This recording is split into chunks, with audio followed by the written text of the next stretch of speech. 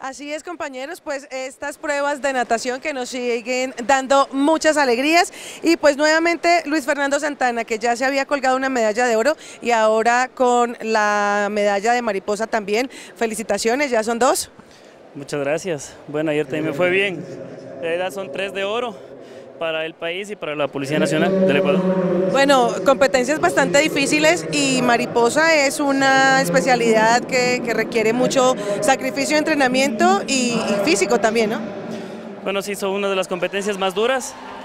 E igual los rivales también son muy complicados, pero como ya dije antes, para eso entrenamos.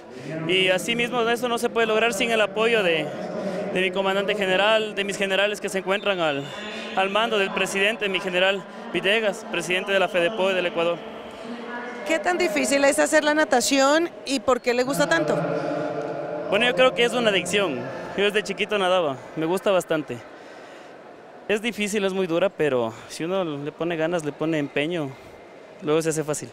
Bueno, Luis Fernando, finalmente, ¿qué opinión le merecen estos juegos? Ya llevamos varios días de competencias y pues eh, mucha gente ya ha dicho que pues le gusta mucho la calidad de Colombia, pero en lo personal, ¿usted qué, qué piensa?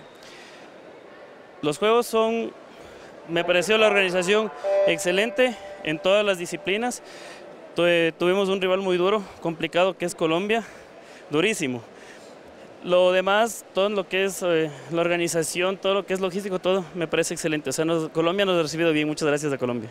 Pues a ustedes muchísimas gracias por venir, por estar acá en estos primeros Juegos de Policía y muchos éxitos para lo que viene. Muchas gracias a ustedes. Gracias.